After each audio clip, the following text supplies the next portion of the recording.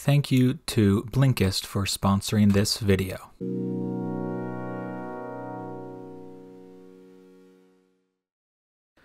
We all know horseshoes are supposed to be lucky. From featuring in our favorite marshmallow filled cereal to hanging above barn doors to being on necklaces and charm bracelets, horseshoes are one of the most recognizable good luck charms in the world. But why are they considered lucky at all? Before we answer that question, here's a quick word from our sponsor, and that sponsor is Blinkist. As consumers of educational YouTube, I know my audience is always interested in learning new things, and Blinkist is a wonderful app that helps you do just that. Blinkist offers condensed summaries of the best nonfiction books on the market and gives you the most important points and takeaways in 15 minute text and audio explainers called Blinks.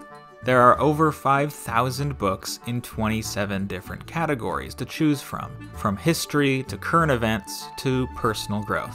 With Blinkist, you can understand powerful ideas in only 15 minutes.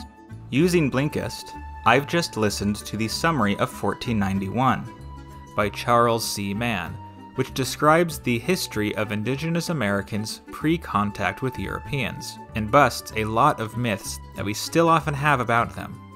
I think it's vitally important for us who live on the American continent to understand the history of this land before Columbus. So thank you to Blinkist for helping me find one of my new favorite books. Right now, Blinkist has a special offer just for you guys. Click the link in the description to start your 7-day free trial with Blinkist and get 25% off of a premium membership. Thanks again to Blinkist, and now back to the video. If you grew up in a certain type of church, there's a chance you may have heard the story of St. Dunstan. He was a 10th century English clergyman who, at the pinnacle of his ministry, became the Archbishop of Canterbury, the premier bishop in England. But before he was ordained as a priest, he was said to have been a blacksmith. The legend goes that when Dunstan was a blacksmith, he was visited by a man who asked Dunstan to reshoe his horse.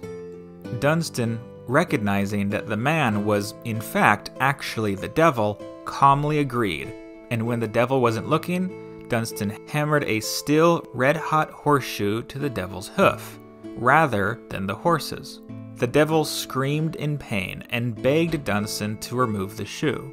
Dunstan agreed on one condition that the devil would never enter a house with a horseshoe nailed above the door. The devil, still howling in pain, agreed, and rode off, vowing to keep the promise, as to not be burned again. This is a very nice story, but I don't have to tell you that it's just a legend. It seems to have popped up in around the 12th century, a couple centuries after Dunstan's death. But as good a fairy tale as it is, it is in fact not the origin of the lucky horseshoe. The charm goes back further than the 12th century or even the 10th century, and the story of St. Dunstan and the devil was probably a way of Christianifying an older pagan tradition. So, if it didn't come from St. Dunstan, where did the tradition come from? As with most folkloric traditions and superstitions, it's not easy to determine where the lucky horseshoe started. That said, scholars have a few theories that are pretty well accepted. They can be broken down into the horseshoe's shape, the material, and the maker. First, the shape. Horseshoes are in the shape of a crescent. Crescents, relating of course to the moon, have long been seen as sacred and lucky symbols. In many cultures around the world, crescents, as well as other two horned shapes, have been used as lucky amulets. Second, the material. Horseshoes were traditionally made of pure iron, and so in the Middle Ages, horseshoes were one of the easiest sources of the metal. Iron has had a long history as a protective material. In Celtic and Northern European society, it was said to protect against malevolent spirits and fairies. And in the Middle East, the metal was said to ward off jinn. The oldest superstition I can find about iron comes from ancient Egypt, where iron was known as devil's bone. Whether this Egyptian tradition inspired the later superstitions is unknown, but the point is that it was ancient and widespread. Lastly, the maker.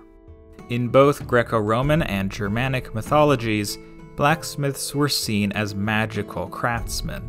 Hephaestus, known as Vulcan by the Romans, was the god of blacksmithing and forging, so blacksmiths, unlike all other craftsmen, had an Olympian to call their own.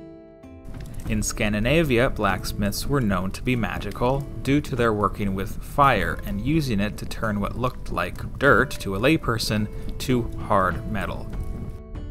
Whatever the true origin of the superstition is, the idea of it being a good luck charm, as opposed to a talisman to ward off mischievous fairies or demons, seems to be a relatively modern practice, probably starting in the 19th century, as all mentions of the horseshoe before then is as a ward against spirits or witches. And there you go, a quick history of the lucky horseshoe. Thanks again to Blinkist for sponsoring this video. Remember to click the link in the description to start your free trial and get 25% off a premium membership. Don't forget to like and subscribe. Bye!